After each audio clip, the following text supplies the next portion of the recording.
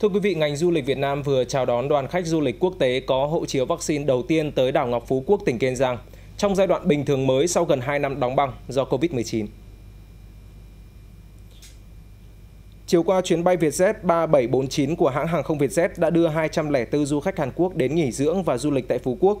Bên cạnh trải nghiệm dịch vụ hàng không an toàn của hãng hàng không thế hệ mới luôn tiên phong trong các hoạt động phát triển du lịch, du khách còn được tham gia hành trình trải nghiệm vô cùng đặc sắc của hệ sinh thái du lịch, trải nghiệm, khám phá mua sắm lễ hội, nghệ thuật đẳng cấp quốc tế với tiêu chuẩn an toàn cao nhất. Với trải nghiệm du lịch sống trọn vẹn Life Fully, trên chuyến bay đầu tiên hành khách đã được trải nghiệm những hoạt động văn hóa Việt Nam trên độ cao hơn 10.000 mét với màn trình diễn ấn tượng trang phục áo dài truyền thống của Việt Nam và nhận những món quà lưu niệm hữu ích.